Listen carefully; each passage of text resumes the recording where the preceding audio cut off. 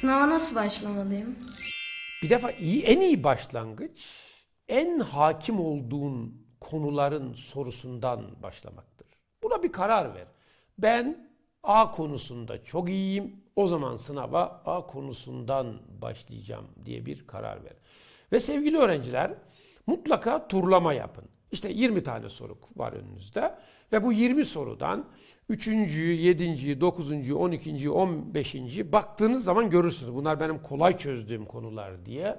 Onlardan başla, yoluna devam et. Muhteşem bir sonuç alacaksın.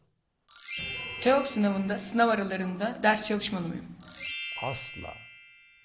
Asla çocuklar. Böyle bir şey olabilir mi? Olmaz. Bırakın onu siz.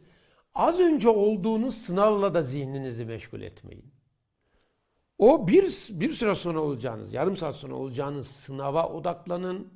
Onun konularını hayal edebilirsiniz. Ama orada ben bak burada böyle yaptım da orada şöyle yapmayacağım tarzı bir strateji taraması yapabilirsiniz. Bu arada sen sormadın ama ben onu hemen buradan yanıtlamak isterim. Anne babanızla da telefonda vesaire diyalog kurmayınız. Dikkatiniz dağılır, konsantrasyonunuz bozulur. Onların iyi niyetle söylediği bir sözden olumsuz etkilenirsiniz. Ya da anne babalar siz çocuğunuzla temas kurmayın. Süleyman Hocam, ben TEOK sınavındayken ailem okul önünde beklemeli mi? Vallahi şimdi bakın. Eğer beklemeleri sana iyi geliyorsa beklemeliler. Ama beklemeleri sana iyi gelmiyorsa tam tersi ya bende bir sorun mu var da bu aile okulun etrafında beni bekliyor tarzında düşünüyorsan işte o zaman beklememeliler. Sen kendini nasıl iyi hissediyorsan bunları anne babanla paylaştığın zaman sevgili öğrencim kesinlikle ama kesinlikle onlar senin dediğine uyacaklardır. LYS'ye gireceğim. Eve gelen misafirlerin sorularına sıkılıyorum. Ne yapabilirim? Sana da bir müjdem var sevgili öğrencim. Bundan rahatsız olmayan bir tane öğrenci yok. Ne demek istiyorum? Sen normal bir tutum içindesin sen. Ama şunu da bilin ki sevgili öğrenciler, e, eve gelen misafirler size o soruları iyi niyetle soruyordur. Ama siz olumsuz etkileniyorsunuz. Yani gerekirse kendi odanızda çalışın. Bir hoş geldin deyin hemen odanıza çekilin. Sevgili öğrenciler şunu hiç unutmayın. Kendinizi iyi tanıyorsanız asla ama asla mücadele kaybetmezsiniz. Girdiğiniz bütün sınavlardan, şimdi öğrenci olarak sınava giriyorsunuz. Yarın iş hayatında çeşitli sınavlara gireceksiniz. Bütün sınavlardan başarılı olursunuz. Kendinizi çok iyi tanıyın.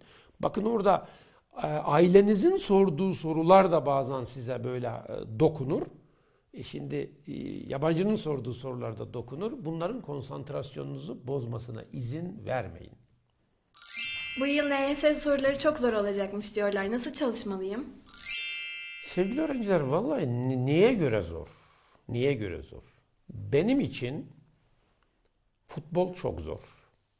Arda Turan için futbol çok kolay. Yani bilene bir şey zor değil aslında. Dikkat edin.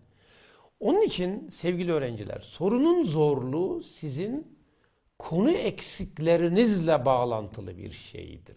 Konunuz eksikse her soru zor. Konularınız tamsa her soru kolay. Ee, bu sebepten dolayı YGS soruları zor falan diyorsunuz ya sevgili öğrenciler YGS'de değişen bir şey yok ki. Her sene anlattığınız okullardaki konular hafif değiştirilerek ya da çok değiştirilerek getirilmiştir önünüze ki YGS'nin mantığı bu zaten. İkinci sınavın mantığı ne? Şu kitaptakinin, defterdekinin aynısının sorulduğu sınavlar. Bunlar bilgi sınavıdır, anlama sınavıdır, çevirme, yorumlama ve öteleme dediğimiz açık uçlu sorulardır.